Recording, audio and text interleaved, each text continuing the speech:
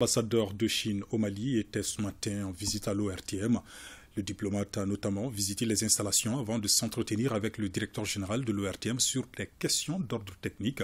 Le reportage est signé Fontama Magnantao. Shen Zihong est depuis cinq jours l'ambassadeur de la République populaire de Chine au Mali.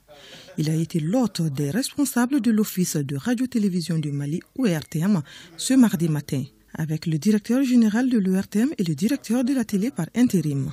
Ils ont fait un tour d'horizon de la coopération technique et professionnelle.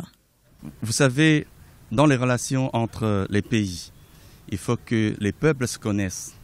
Alors, la télévision et la radio jouent un rôle très important pour rapprocher les peuples, euh, pour faire connaître non seulement euh, la vie euh, de la population à un autre pays, mais aussi euh, donner des nouvelles internationales pour euh, renseigner euh, à la population locale.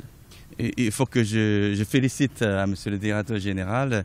je vois que la télévision, la radio marchent très bien parce que nous, nous suivons beaucoup la télévision et la radio et les informations sont la plupart venues de la OREDM.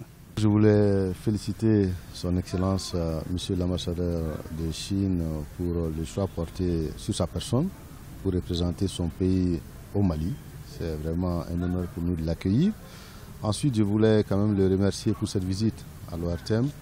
Comme vous le savez, euh, l'Office de radio et télévision du Mali euh, bénéficie très souvent d'un appui de la Chine et je sais que la Chine euh, nous appuie et continue à nous appuyer.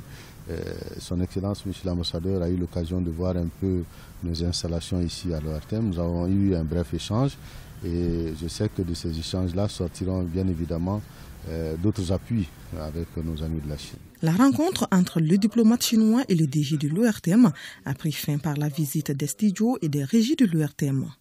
À la fin, l'ambassadeur a promis d'inviter les journalistes maliens à visiter son pays pour renforcer les liens d'amitié entre la Chine et le Mali.